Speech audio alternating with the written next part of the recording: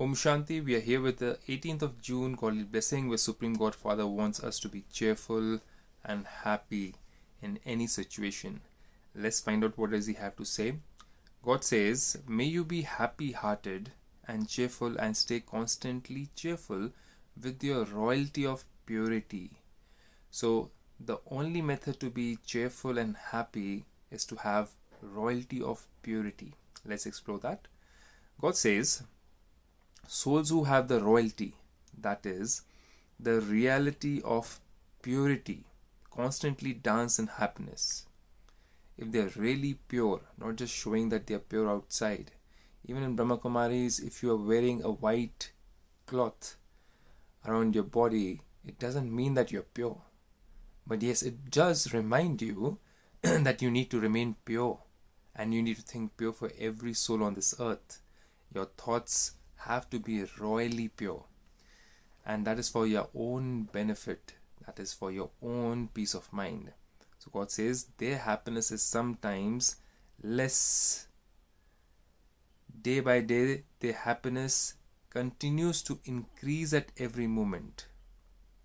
So their happiness doesn't become less, it keeps on increasing at every moment the level of purity as it increases no matter what anybody thinks about them no matter what people say about them it doesn't really matter if their heart is clean if their mind is clean and clear and if their directions are clean and clear they are not at all bothered by anything in this world because they are pure within. So god says day by day their happiness continues to increase at every moment they would not be internally one thing and externally something else. Majority of the people in the world, they might smile when they meet you, but internally they're thinking ill about you most probably, or they're thinking not so clean about you. But outside, they are just reacting as if they know you, they're happy with you, and they love you a lot. Haven't you met those kind of people?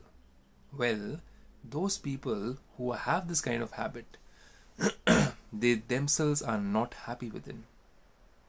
If they don't have internal and external purity, then it is a sign that they are actually not happy within. So, being in the company is not going to make you or anybody in the world happier. So, God says that's why it is very important to have the true happiness, and true happiness comes with the true royal purity. God then says, they are truthful in their attitude, vision, words, and behavior. Their attitude means their outlook towards any situation is clean and clear. They have the right attitude of bringing benefit to everybody, and the vision is clear. Is I'm an instrument in this world. I'm here for a purpose. I have to fulfill that purpose, make everybody content and happy, and move ahead. Even though people sometimes don't understand the vastness of any situation or they are not such visionaries about any situation in the future, they cannot see through things, even then they don't lose their happiness. Even if they are blamed for certain things, they don't lose their happiness. Their words and their behavior are also truthful. They are upfront, straightforward, even if somebody doesn't like them, even if somebody doesn't get content with them, but they are straightforward because in the long term it's going to pay. God then says, such real and royal souls constantly stay happy in their hearts and they don't need to prove anything to anybody because they are real and royal souls and also in their eyes and their features. So in their eyes also if you see through the eyes if you look at the eyes they're not hiding any bad attitude bad intention or they don't have any bad vision. They don't even use bad words or wrong words. So they stay happy in their hearts and also in their eyes and their features they are externally happy hearted and cheerful So they might look as if they're very introvert, but they're actually happier and they are happy hearted and cheerful. Have you seen people like these? Do you want to become a person like this?